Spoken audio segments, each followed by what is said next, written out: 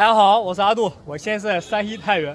我们等一下要去的地方呢是晋祠，在中国历史上，李世民呢是评价非常高的一个帝王。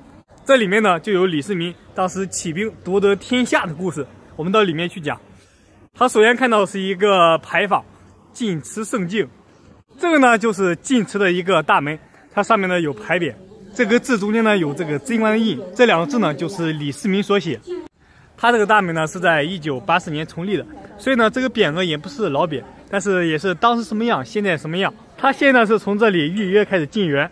他这里呢是十字桥，非常漂亮的一个建筑。往前面看呢，这是唐园，因为他这里呢是最早供奉晋国的开国君主唐叔虞的唐叔虞祠。现在呢这里也是一个仿唐的一个建筑。它前面呢是一个照壁，上面呢是福禄寿。李世民呢为晋祠写过一块碑。呃，整块碑呢有一千二百多个字，全都是李世民亲笔所写。上面写了他的国号唐是怎么来的。因为在晋国古称呢，他就是唐。唐叔虞呢，他是晋国的第一任君主，在后来呢，才把唐改成了晋。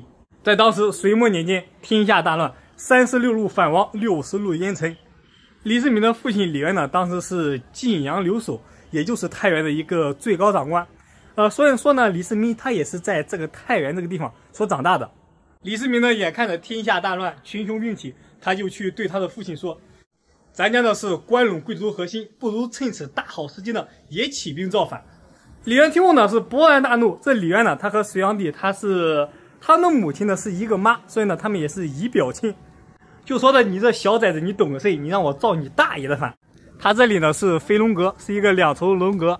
在这里呢，可以登高望远，整体呢是坐落在这个假山石之上，在下面呢可以通过去。它这个地方呢取飞龙阁，不不知道是不是李世民飞龙在天的意思。过了一晚，到第二天呢，李渊对李世民说：“呃，你说的都对，但是呢，这件事呢我不能干，我不能去造我表哥的反，毕竟咱们家呢是大隋的臣子，我世受国恩，这事呢我不能干。”随后呢，他对李世民的这种行为呢也没有做出太过激烈的反对。当时呢，李世民呢，他还年轻，二十多岁。这件事呢，他自己呢，感觉他自己的能量不够，还还需要他的老爹出马，所以呢，他就打算去忽悠自己老爹起兵。既然自己的话呢，老爹不听，他就去找一些重臣去劝说老爹。他找谁呢？他找就当时的一个人叫裴寂。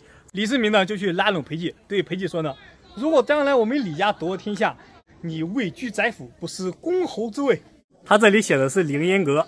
于是呢，李世民和裴寂就商量如何去忽悠老爹李渊起兵。裴寂呢就问李世民：“李渊呢有什么爱好？”这男人呢，他能有什么爱好？他无非就是这个酒和美色。李世民和裴寂呢就去找李渊喝酒。李渊呢可能酒量也不是很好，没喝几杯呢就喝醉了。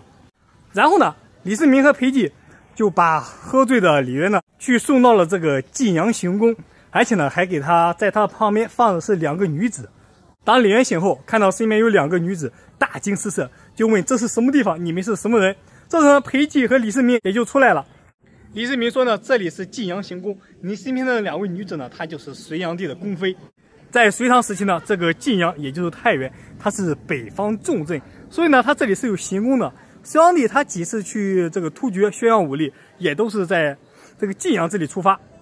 这个皇帝出行呢，他不可能把所有的妃子都带上，所以呢，行宫是有宠妃的，也就有种这个村村都有丈母娘的感觉。这个承袭君妃呢，则是死罪。这个李渊当时气的拿剑呢，就要劈这个李世民。李世民对李渊说呢：“您现在是干这种事情，您不反也得反，你不反呢，隋炀帝也会杀你。你像这个杨素、杨玄感之类的，都是一笔写不起两杨字的杨氏宗亲，都被这个隋炀帝干掉，更何况他一个异姓的李渊呢？”咱们李家呢，他是关陇贵族的核心。这晋阳呢，他又是控制中原的要津。咱挥师三万，直取长安，然后呢，收拢关陇贵族，收拾人心，这天下可定。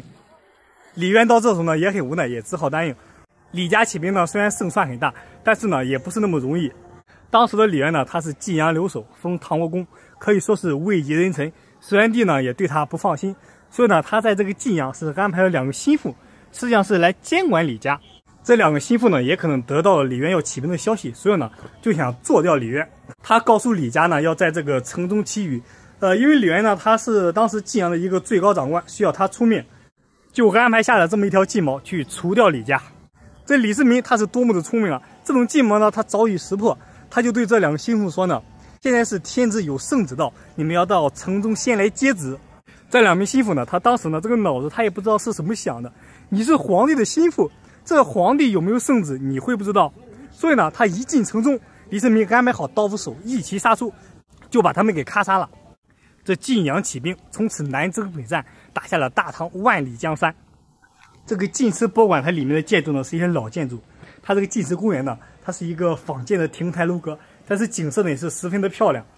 长安亭走过这里呢，它有这个龙兴晋阳的这个雕塑，这里就是龙兴晋阳的一个雕塑。中间骑大马呢就是李世民，在他的四周呢就是他的一个文臣武将，呃，身边穿盔甲这个拿钢鞭呢就是尉迟敬德。他这里雕塑呢是没有他爹李渊的。这个晋阳起兵呢，完全就是李世民一个所导演的一个故事。他爹李渊呢，反而成了这件事的一个棋子。在打天下时候呢，李世民的功劳很大。他文官做到了尚书令，武官做到天赐上将，还爵封秦王。所以呢，他文官武官都做到了极致。如果他再立功的话，就只有做这个太子，然后把皇帝让给他。可是当时呢，已经有太子，不是他，是他的大哥李建成。后来事情呢，大家都知道，通过玄武门事变，他杀兄屠弟，逼着老爹退了位，然后自己呢是做了皇帝。可以说呢，他夺得天下手段呢和这个隋炀帝是差不太多，但是他和隋炀帝的名声却是天差地别。隋炀帝杨，距离远重曰杨；一个呢是唐太宗文皇帝，惊天伟地曰文。李世民他登上皇位之后呢，他轻徭薄赋，百姓安居乐业，他善用这个文臣武将。这也就验证一个道理：江山易取而顺守之。所以呢，也就留下了千古一帝唐太宗李世民。这晋祠公园呢，它就是在这个晋祠博物馆前面的一个位置。它这里呢，风景非常的好。再往前面走呢，它就是晋祠博物馆。这里面呢，它也是被称为太平第一景观，有很多很多古建筑。我们到里面看，这里都有什么？好，这就是我们今天在这个晋城公园给大家聊的一个李家江山在晋阳起兵的一个故事。我们下个地方见。